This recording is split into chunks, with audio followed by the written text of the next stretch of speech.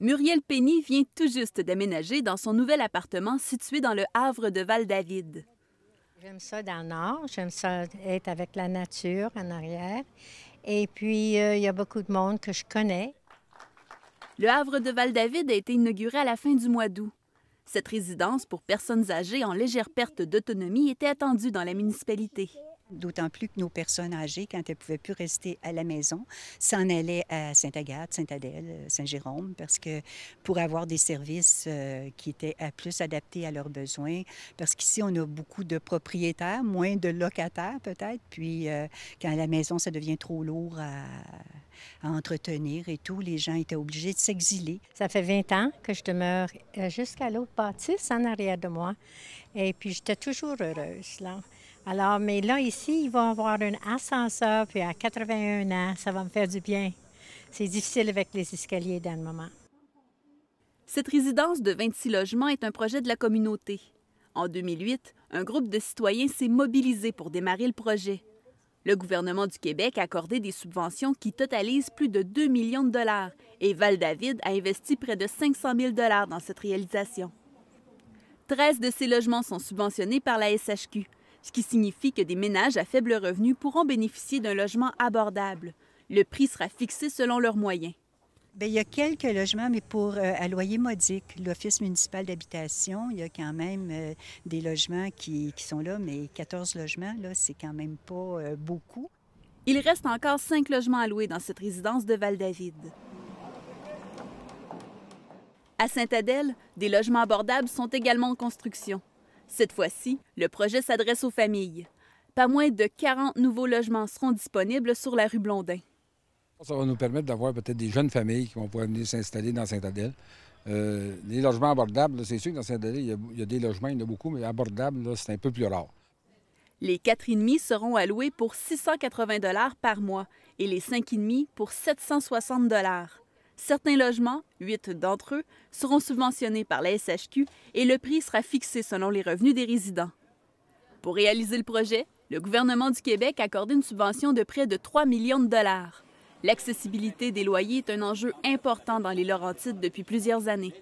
Même si on a marqué beaucoup de points dans les, euh, les 5-10 dernières années, parce que vous avez vu les constructions à Saint-Sauveur, construction à Valmorin, à Sainte-Agathe, euh, il y en a eu un petit peu partout sur le territoire, même dans la Naudière, parce que nous avons des municipalités dans la Naudière, à Saint-Donat.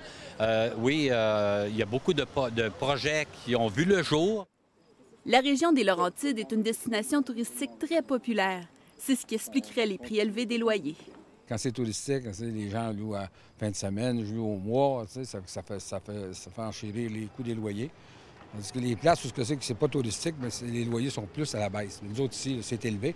Puis si on prend notre, ville voisine qui est Saint-Sauveur, je pense que c'est encore pire. C'est pas abordable. Je pense que ça, ça va être un plus pour Saint-Adèle. Les Laurentides, c'est tout à fait particulier. Vous savez comme moi qu'il y a une croissance démographique fulgurante dans les Laurentides. Euh, il y a euh, des gens qui partent de la première couronne autour de Montréal pour venir s'établir dans les Laurentides en pensant que ça va être moins cher. Mais euh, écoutez, plus il y a de la demande, vous savez, plus à un moment donné, ça a de l'influence sur les coûts. La livraison des logements est prévue pour le mois de mai et les familles intéressées ont jusqu'au 15 octobre pour soumettre leur candidature. Les formulaires sont disponibles sur le site web d'Interloge, le gestionnaire du projet de Sainte-Adèle. Au début du mois de septembre, les députés péquistes des Laurentides ont fait leur bilan de la première année du gouvernement Marois. Ils jugent que les 12 derniers mois ont été marqués par l'écoute, le courage et la détermination. Selon eux, parmi toutes les initiatives prises au cours de la dernière année, plusieurs d'entre elles ont eu des impacts positifs sur la région des Laurentides. Lors de la dernière campagne électorale, je me souviens qu'avec les collègues, euh, on avait 22 engagements qui avaient été pris euh, envers les citoyens de la région des Laurentides, à part des engagements individuels. Et on avait dit que l'engagement numéro un, c'était celui de l'iniquité en santé, parce que la région des Laurentides, c'est celle qui croît le plus rapidement à travers tout le Québec. Et malheureusement, le financement ne suit pas. Et euh, on a été très, très heureux ce printemps de livrer la marchandise, parce que d'un seul coup, dans une seule année, on a fait passer l'iniquité de 58,6 à 41 millions de dollars. Alors, c'est 27 d'un coup. Euh, c'est un investissement majeur pour essayer d'avoir plus de services pour des enfants qui, sont, qui ont des troubles d'envahissement, euh, pour du soin à domicile, pour des opérations plus rapides, pour moins de temps d'attente. Alors, ça, c'est un engagement pour nous qui était euh, fondamental.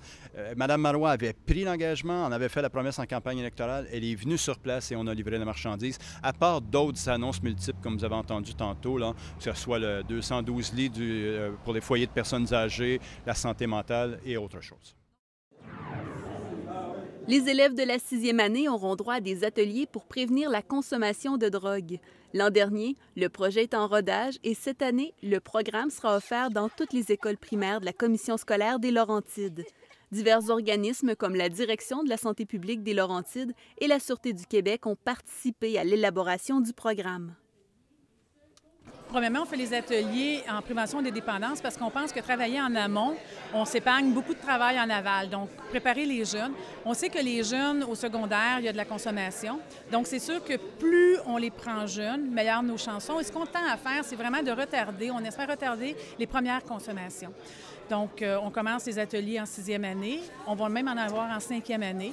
Et c'est sûr qu'on a un continuum de services qui va aller aussi. On donne des, services au secondaire. Des, ateliers sont offerts au secondaire. Mais le but de l'exercice, c'est vraiment de retarder la première consommation ou de faire de la prévention, comme je disais en amont, pour avoir moins d'ouvrages en aval. Concrètement, ça ressemble à quoi les ateliers? Bien, en fait, on a au primaire, en sixième année du primaire, ce qu'on lance aujourd'hui, c'est cinq ateliers de 60 minutes on aborde euh, les thèmes euh, le corps humain, le cerveau en changement, l'influence des amis, la publicité la consommation responsable et les émotions.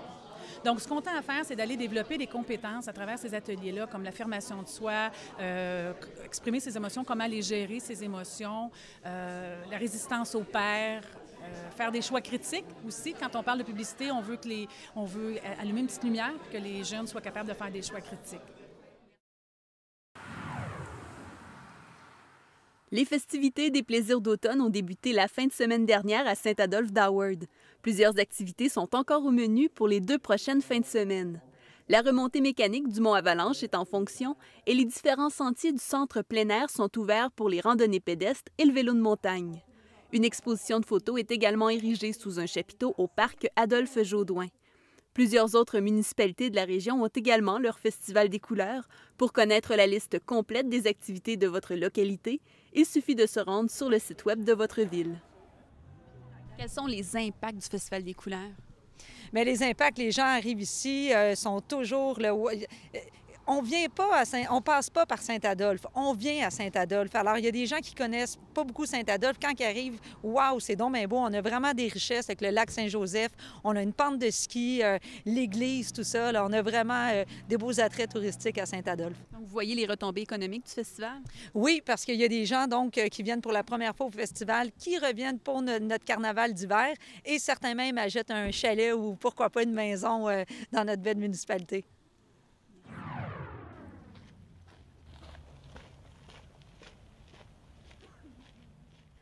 La Société d'aide au développement des collectivités des Laurentides a tenu une plantation d'arbres le 10 septembre dernier à Sainte-Adèle, dans le nouveau parc Claude-Henri Grignon. Ce geste symbolique est une façon de compenser l'émission des gaz à effet de serre des employés et des participants aux différentes activités organisées par la SADC des Laurentides au cours de la dernière année. C'est l'entreprise CO2 Environnement de Lorraine qui a été mandatée pour planter 119 arbres sur le territoire des Laurentides. Les gaz à effet de serre qu'on a émis durant l'année, ça représente 16,68 euh, tonnes de CO2 équivalent. Et tout ça ensemble, pour compenser tout ça, il faudrait planter 119 arbres. Ça, c'est le travail de CO2 environnement qu'ils vont faire. Nous, aujourd'hui, on le fait symboliquement, on en plante 6. Donc, on plante aujourd'hui des érables et des chênes. Ce qui est compensé, c'est euh, quand vous venez à nos événements, peu importe les événements, souper bénéfices, concours québécois en les rendez-vous durables, nos petites formations, tout ça, euh, les participants viennent en voiture, évidemment. Et quand les gens viennent, ben, euh, on demande d'où ils viennent, d'où ils, où ils vont retourner. Donc, on calcule la distance en kilomètres qu'ils ont fait et on compense les gaz à effet de serre émis par ces transports-là.